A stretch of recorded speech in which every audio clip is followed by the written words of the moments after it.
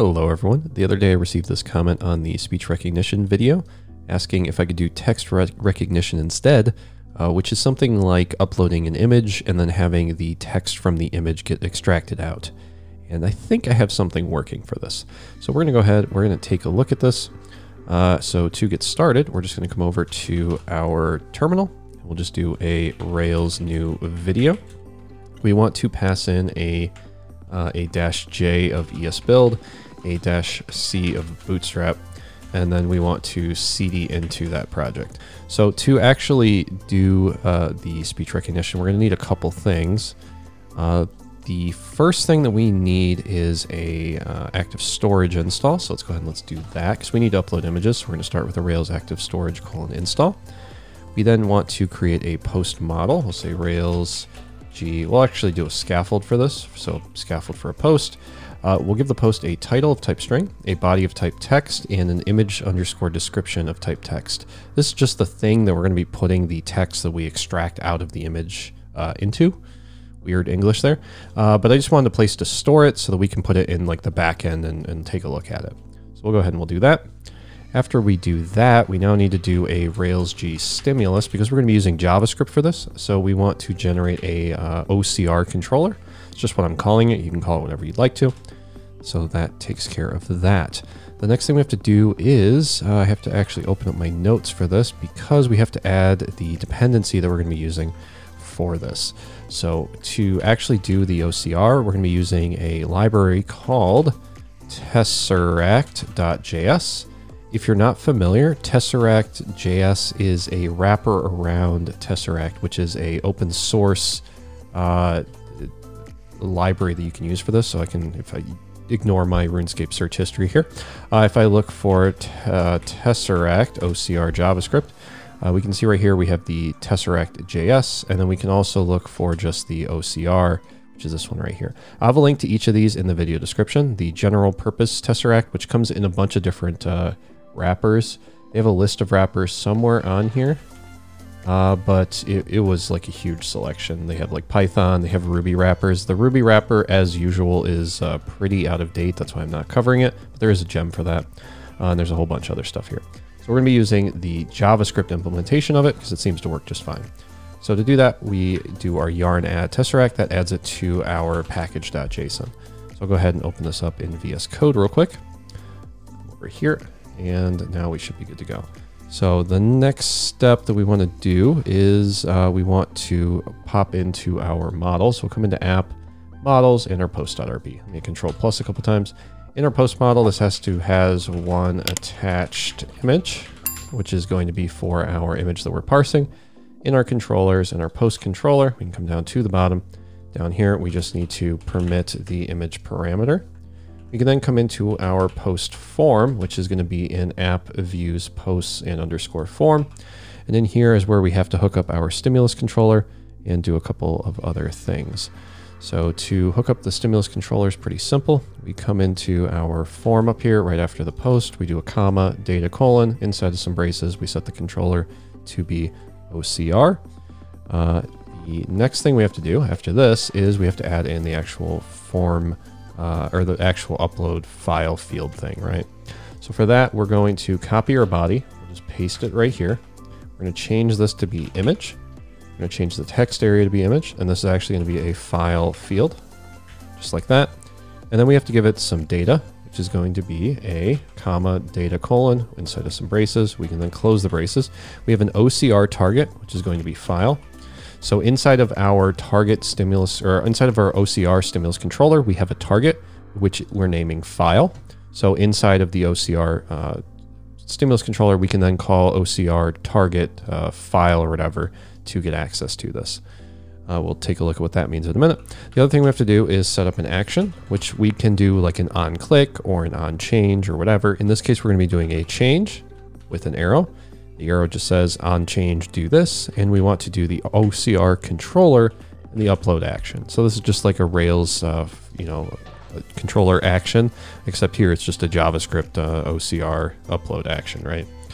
Now that we have that, we have two options. The first is a hidden input for the image description, which we can do right here. Uh, this will allow you to do what we're going to do here, uh, but the user can't see it. So we'll just leave it like this. Now to actually do this for the one that the user can see, we have this text area for the image description. We're going to do a comma for some data, another OCR target, but we're going to call this one the image description. So this is going to allow us to have a form on the page that has the text put into it. So if I come over here and I do a uh, gem install foreman, because I probably forgot to do that again, and then I do a bin slash dev, I come over here and go to, oops, go to localhost port 3000 slash posts. we come here, hopefully this will work.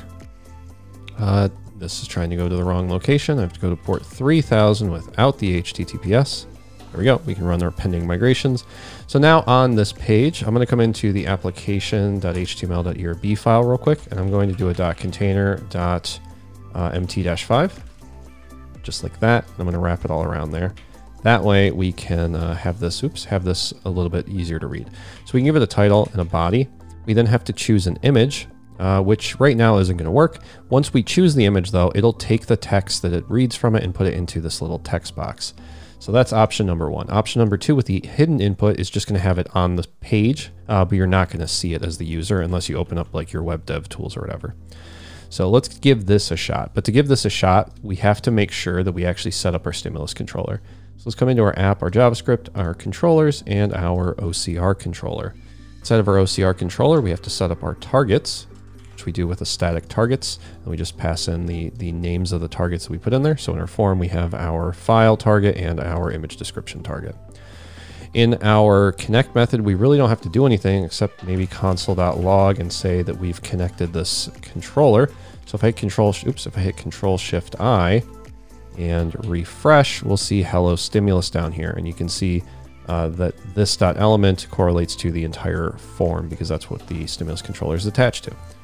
So now that we have that, we can do our upload event, right? Because we made that. We said on change, do the upload event. So in the upload event, the first thing we're going to do is prevent default, just to stop the form from submitting for whatever reason. We then want to get the file from this dot .file target, which is this file target right here, which correlates to the file field because we have the file target on here. So when we say this dot .file target, we're actually grabbing this file field and then we're grabbing the first file attached to it, which is the image we uploaded. We then create a file reader, which we need to do some of this other magic. Okay, and now on here, what we're gonna do is an onload. And then in this, what we want to do is, uh, actually, we're gonna change this a little bit. We're gonna do a event instead. And then in here, we're going to have a tesseract, which means we have to include it. So up here, we'll do a quick little import tesseract from wherever. We're then going to do a tesseract dot recognize. And then we want to do the event dot target result. We're passing that in so that we can actually get a reference to it. We can then do a English, and then we can pass in some other stuff. What we can do in here is do a console log so you can see everything that's happening. After we do that, we can then do a dot then with some data, which takes in the text. And then we can come down here and hopefully close all of this. Uh, and then right here, we would also need another one right there. Inside of our dot then, what we can do is say this dot image description, which is our target right here, target dot value is equal to text. That's why we set up this other target. So what we're saying here is set the image description target, which is this text area, set its value to be equal to the text that we just got out of our image. We get the image by grabbing it from the file field right here, and using the reader here. Now you're probably wondering where's the uh, the file reader getting used or where's the file getting used? And that's going to happen after this reader.onload. We're going to do a reader.read as array buffer for the file. And that's pretty much it. We can now come over here and refresh, do a test in the body, a case or a test in the title, a case in the body. We'll come over here. We will uh, just print screen this question. Okay, and now we can click choose file, over to our downloads and download this file. We can see here in the console, uh, because we're logging this out, remember right here with the logger, you can see every step of the way that the stuff got logged out. You can see the progress of the uh, character reader right here. And then at the end, you can probably see that we have something in our body. We do this, we can see right here, could you do something similar, but with text recognition instead, like it translates an image following a template into text. We can of course see right here, this is the same thing as what's in the uh, comment section right here. Uh, it even gets the name. So if you wanted this to follow a template, what I would suggest is have some form of a template image.